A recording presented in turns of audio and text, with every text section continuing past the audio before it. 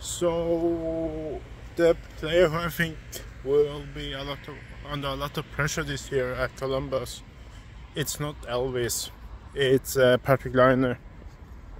I think, if we're gonna be honest, he's been very vanilla for us. He know where the net is, but he's very inconsistent, and he is he's going like what? Once every third game? And then he's injured and then he comes back and don't do do anything for a bit and then he scores like four gets like four game points in a game or something like that. Uh, when this video comes out my video about world class athletes that one should be out. And the thing is during that 2016 draft when Auston Matthews, Laine, uh, Pierre-Luc Dubois was uh, re- happened, there were rumors that Patrik Laine might even go first. And it's pretty funny now when you look back at it with the uh, Pierre-Luc Dubois situation, with this Laine situation. Imagine if Leaf picked, picked uh, Laine instead of Auston. That that would have been kind of funny to be honest. Uh, anyway, back to the point. If I think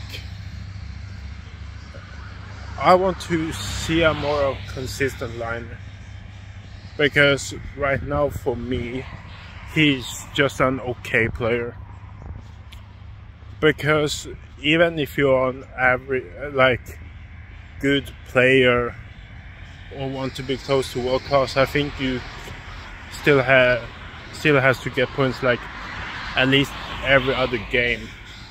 But if you check like check like the statistics, Laine gets like one every third or fourth game, and then he's like injured for a bit, and then he he do nothing for a while, and then he yeah it's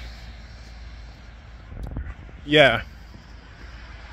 I wouldn't be surprised if he is kind of vanilla this year again. We might trade him. It wouldn't surprise me at all. And I wouldn't I would be open for that. I think right now Diego Chinakhov got like the exactly same snipe if not even better. And Chinakhov is uh, is a lot younger and he has a lot of potential in him, as we have seen over the last few years. Um, so I would actually go with Chinakhov and trade Laine if he's still vanilla in the coming year. Uh, to I would be happy with even like a first round pick or something. I would be really happy with that.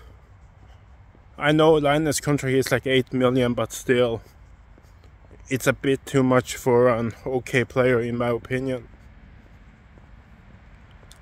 So please comment down below what's your thoughts about the Laine and uh, do you think he has reached his expectations and uh, yeah Will he get 100 points in the future?